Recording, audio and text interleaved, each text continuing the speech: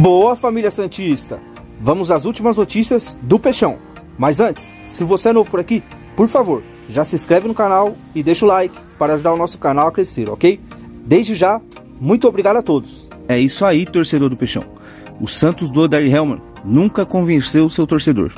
Desde quando o treinador chegou, o seu trabalho vem recebendo críticas e não apenas da torcida, pois internamente, entre os conselheiros, existe uma insatisfação com o futebol que a equipe apresenta.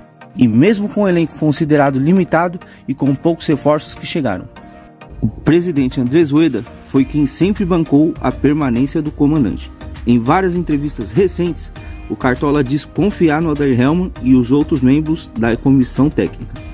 Na noite da última segunda-feira, dia 11, o jornalista Lucas Costa trouxe uma informação de bastidores bastante interessante.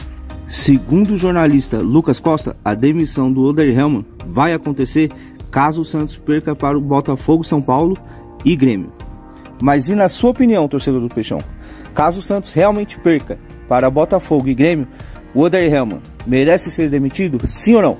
Deixa sua opinião aqui nos comentários, ok? Esse foi o vídeo de hoje. Se gostaram do vídeo, por favor, se inscreve no canal e ativa o sininho de notificações para receber notícias e vídeos diariamente do nosso querido Peixão.